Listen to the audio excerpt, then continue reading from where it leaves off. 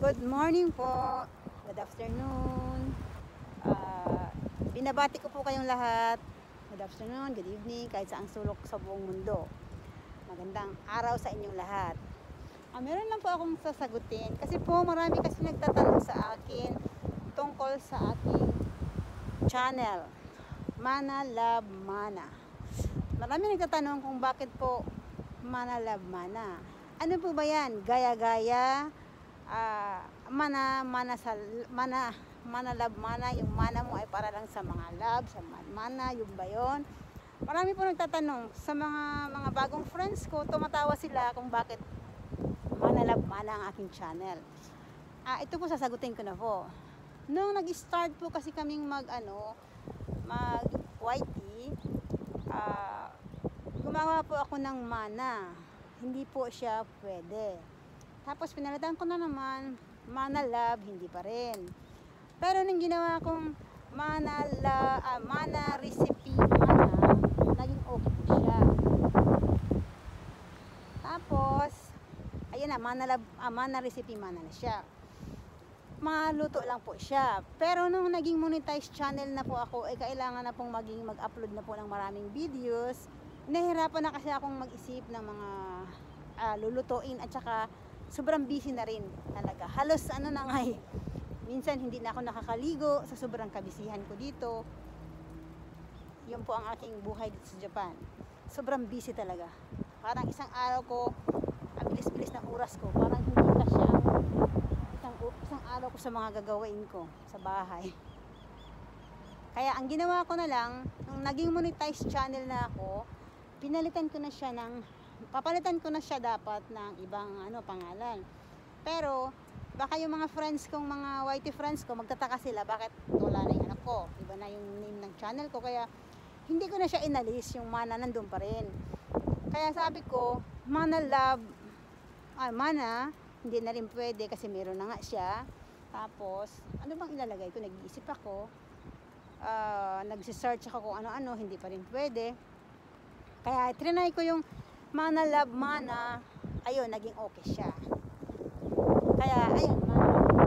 At ang ibig sabihin pala, bakit siya mana? Kasi yung mana na yun ay pangalan po siya ng aking prinsesa. Yun po ang ibig sabihin nun. Ang pangalan niya kasi ay ah, Manami. Ang ibig sabihin ng Manami, ah, Otsukoshi. Ah, sa Japanese, Otsukoshi is ah, pigeon beautiful and love. Kaya po yun ang pangalan niya. Wala pong ano sa ano, sa mana, wala po. Pangalan po yun. Yun po ang. Pangalan, pangalan po yun. Mana. At tapos, sinagot ko na po ang mga katanungan niyo. Ah, maraming salamat. At saka yung mga hindi pa nakapag-subscribe po, please subscribe naman po. Maraming salamat. At sa mga friends ko po, whitey friends ko po na laging nandyan, maraming maraming salamat sa inyo sa pagsusupport niyo sa akin. Kaya kung hindi, kung wala kayo, hindi po ako naging monetized channel.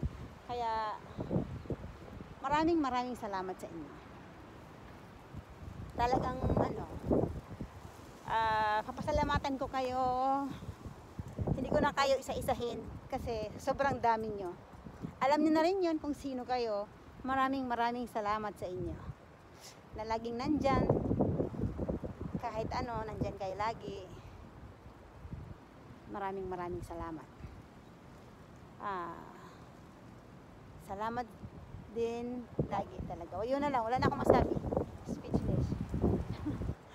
Thank you so much. At may ipapakilala akong bulaklak dito. Ito raw po yung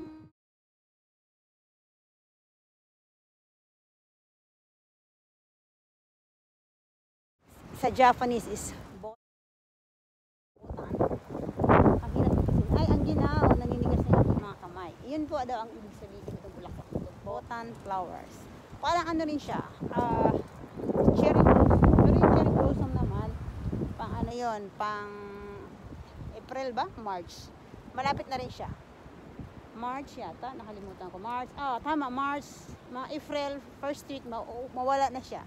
Ito naman, parang Matagal siyang mawala eh. Kasi nandito pa siya. eh. Ang dami niya. oh. Doon pa. Mga flowers na. Sarap dito maglakad. Oh, ang luwag ng ano. Ang luwag ng park. Ayan siya. Malamig nga lang, malakas yung hangin dito. Sobrang lakas ng hangin. Kasi po, ewan ko. Pero okay lang, mainit naman siya. Pero, mahangin lang talaga. Kaya, yung kamay ko naninigas na po. Kaya, ayan, yung pating buhok ko, wala na. Gusto ko tiyan po. Ah. Ayan po siya. Ayan.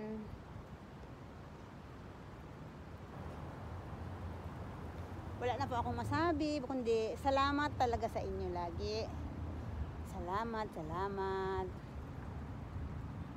Thank you for watching.